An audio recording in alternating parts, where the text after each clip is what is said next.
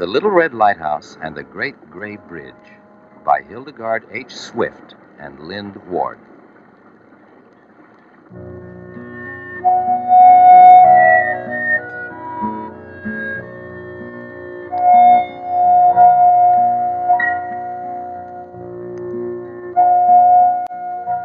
Once upon a time, a little lighthouse was built on a sharp point of the shore by the Hudson River. It was round and fat and red. It was fat and red and jolly. And it was very, very proud.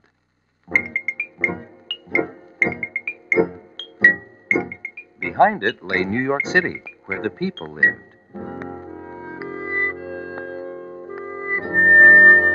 Before it sailed the boats on which the people rode.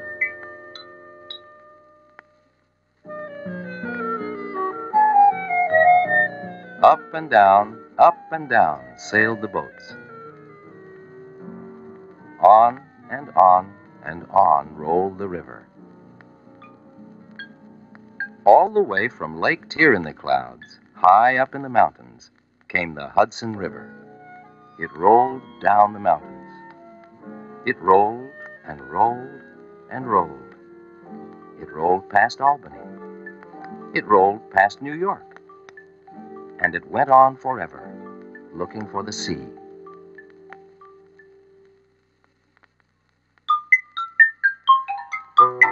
Now the boats on the river talked to the little red lighthouse as they passed. How are you?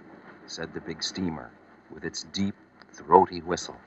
Salute, lisped the slender canoe as it slid along the shore. Chug, chug, chug, chug, cheerio, called the fat black tug as it puffed on its way, pulling a load of coal on a barge.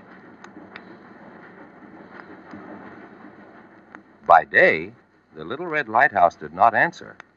It was quiet when the boats called. It was still.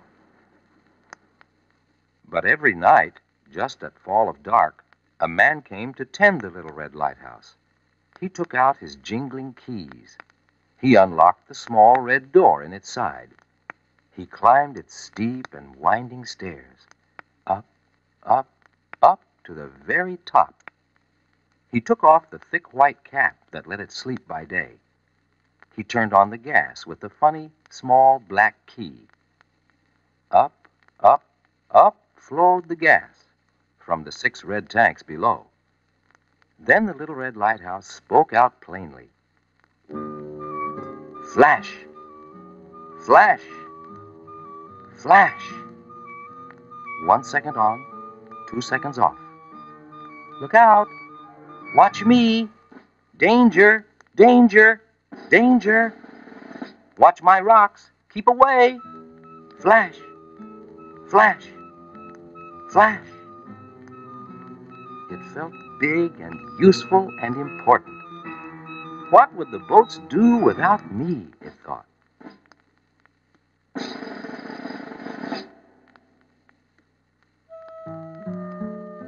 It felt very, very proud.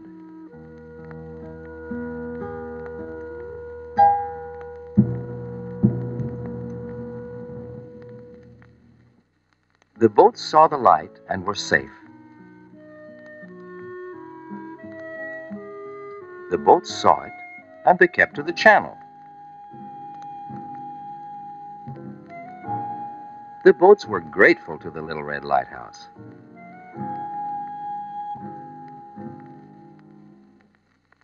Sometimes a fog crept up the river.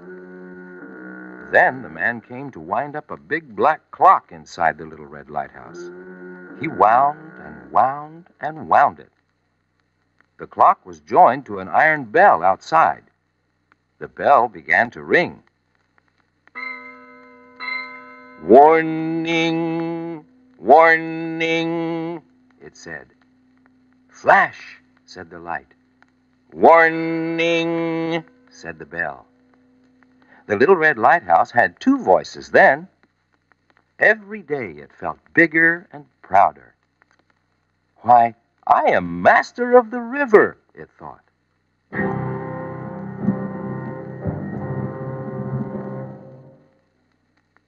Then one day, a gang of workmen came and began to dig. They dug and dug and dug. By and by, great steel girders began to rise up against the sky. A big group of men were carried over the Hudson on a barge. Across the barge stood four great reels, and from each reel there trailed a slender silver line. All the boats on the river stopped moving. All the nearby boats turned to look. Even the river seemed to be very, very still. When the men came back, they seemed happy. The first cables are over, they called. The catwalk will be up soon. And the other men shouted, Hurrah! What do they mean? thought the little red lighthouse.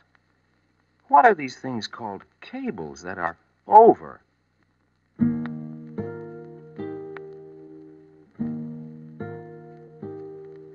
Now the days and weeks went by. Every night the little lighthouse spoke plainly Flash! Flash! Flash! Every day it watched the strange new gray thing beside it grow and grow. Huge towers seemed to touch the sky. Strong loops of steel swept across the river. How big it was! How wonderful! How powerful!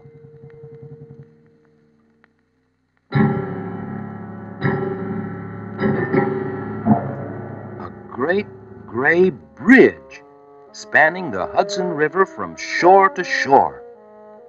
It made the little red lighthouse feel very, very small.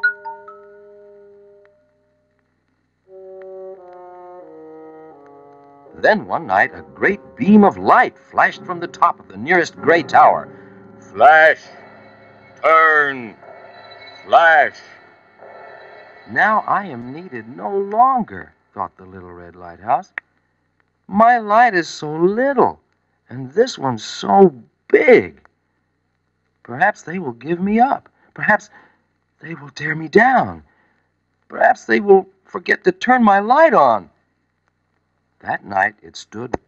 It felt glum and anxious and queer.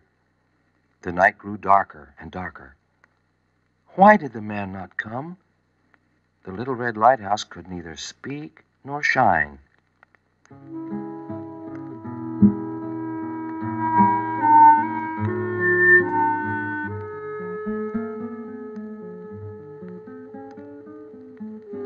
Then, in the middle of the night, there came a storm. The wind moaned, the waves beat against the shore. A thick fog crept over the river and tried to clutch the boats one by one. The fat black tug was just coming back from Albany. It was caught and blinded by the fog. It looked for the little red lighthouse, but it could not find it. It listened for the bell, but it could not hear it. So thick the fog was, it could not see the light flashing high up from the great gray bridge. Crash! Crash! Crash! The fat black tug ran upon the rocks and lay wrecked and broken. Then the great gray bridge called to the little red lighthouse. Little brother, where is your light? Am I brother of yours, Bridge?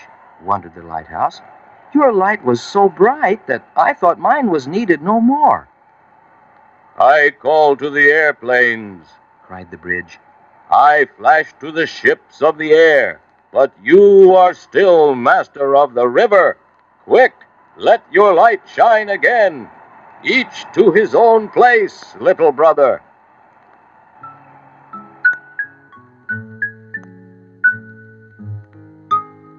So the little red lighthouse tried to shine once more. But though it tried and tried and tried, it could not turn itself on. This is the end of me, it thought. This is really the end. My man will not come. I cannot turn myself on. Very likely I shall never shine again. Dark and silent it stood, and it was very, very sad.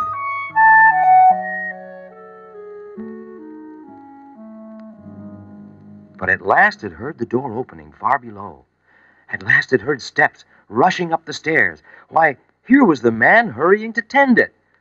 Where have you been, man? I thought you were never coming. Oh, those boys, those boys! They stole my keys. This will never happen again. Now the little red lighthouse knew that it was needed. The bridge wanted it. The man wanted it. The ships must need it still. It sent a long, bright, flashing ray out into the night. One second on, two seconds off. Flash. Flash. Flash. Look out! Danger! Watch me! It called. Soon its bell was booming out too. Warning! Warning! It cried. The little red lighthouse still had work to do, and it was glad. And now, beside the great beacon of the bridge, the small beam of the lighthouse still flashes. Beside the towering gray bridge, the lighthouse still bravely stands. Though it knows now that it is little, it is still very, very proud. And every day, the people who go up Riverside Drive in New York City turn to look at it. For there they both are the great gray bridge and the little red lighthouse. If you don't believe it, go see for yourselves.